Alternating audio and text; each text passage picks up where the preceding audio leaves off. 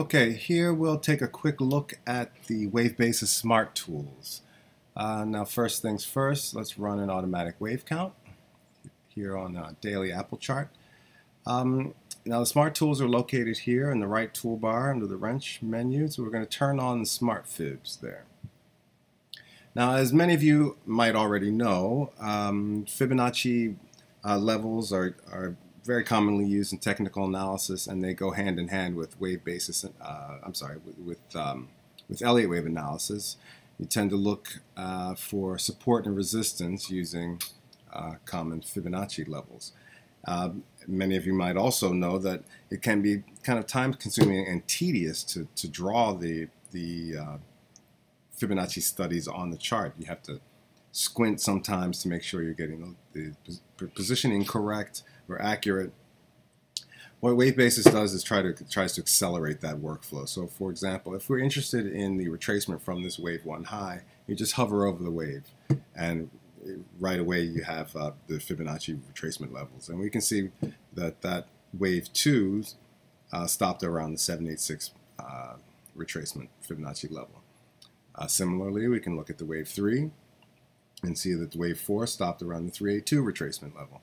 Now, not only are both of those retracement levels within uh, the guidelines for what we might expect for common places for wave 2s and wave 4s to terminate, uh, the fact that wave 2 is uh, deeper than wave 4 is also in line with what we would typically expect for an impulsive move. So that sort of thing tends to help us build confidence in, in a wave count. Um, now, what else uh, makes these tools smart is the fact that when you hover over wave 2, you're uh, most likely going to be interested in the extension from wave 2. So we can see in this case that wave 3 stopped right around just, just between the uh, uh 1.382 uh, extension and the uh, 1618 extension. Now, that's those are smart fibs. And th this is, again, as I said, a good way to, to build confidence in a, in a given count. But fibs are also used, as again, as many of you might know, to anticipate where uh, future uh, support and resistance levels might be. So, for example, you can hover this wave 4. Uh, in, in this particular case, you see a green box up there. That's our, our, our projection. We'll talk about that more in a, in a separate video. But one of the things I'll also show you is you can also lock these Fibonacci levels on the chart whenever you like, and you can do that as many times as you want. Um, so in this particular case, we see we're projecting wave 5, and we can see that up here we're just above the, the 618 uh, extension. Now, depending on kind of, you know, depending on the market, uh, category, asset type, or your particular style, um, different Fibonacci levels might have different meanings for you, but the point is uh, you can see them all right on the chart very quickly without having to open a new tool and, and draw them in, in, in on the chart. Um, what else is uh, what else I should point out here is that not only are there Fibonacci uh, levels, but there are also channels.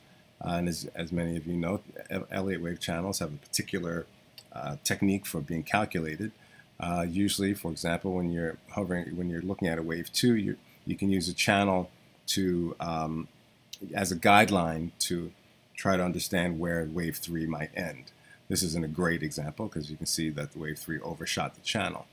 Uh, same thing here. Hovering over one wave will, will give you a channel to try to anticipate where the next wave will end. So in this case, the, the wave 4 fell a bit short of the bottom of the channel. And same thing here. As we can see here, um, trying to look for where wave 5 might end, looks like we're bumping up not only against our projection level green box, but up, up against the, the top of the channel there. And you can see the dashed line, uh, again, is a standard Elliott wave calculation to show um, where uh, wave 3 and wave 1 both uh, indicate where, where wave 5 might top out. Um, and as you can see, you can have these, uh, any number of these Fibonacci tools turned on, I'm sorry, any number of the smart tools turned on at one time. I'll show you individually because because it can be a little confusing with, the, with them all on. Um, same thing with fans. You hover, you have your fan retracement levels.